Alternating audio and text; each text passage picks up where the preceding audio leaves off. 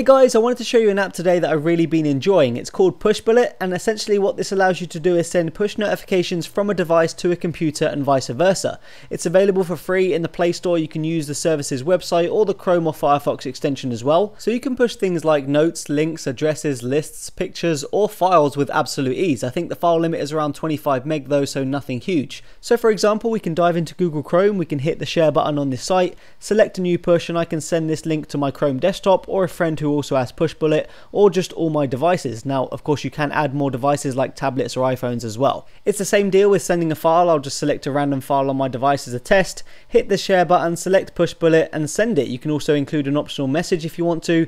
It's just very, very quick and simple to use. Now my favourite and in my opinion the best part of this application is the notification mirroring. It can mirror all of your notifications on your device to Google Chrome on your desktop. You will need a device running Android 4.3 and above to take advantage of this though. So firstly, you can see that I do have the Google Chrome Pushbullet extension installed here and it gives you some options that you can mess around with as well. So to start with, I'll show you a push from my Nexus 5 to the Chrome desktop, just a little message, and boom, that's how quick it is. You can also press the green Pushbullet icon and share all those options I mentioned previously at the beginning of the video to your chosen device or to a friend. So we'll try sending a list, we'll make a little shopping list here.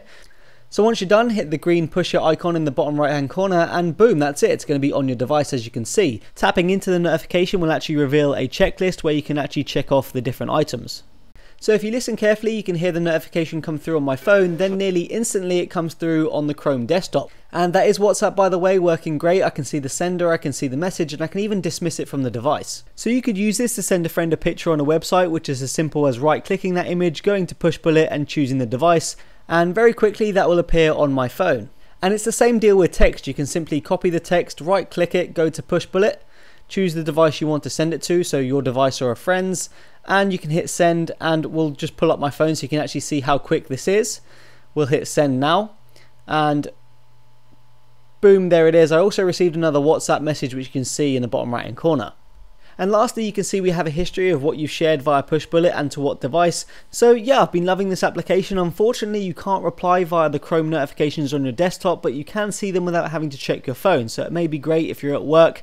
So yeah, let me know what you guys think. Peace out.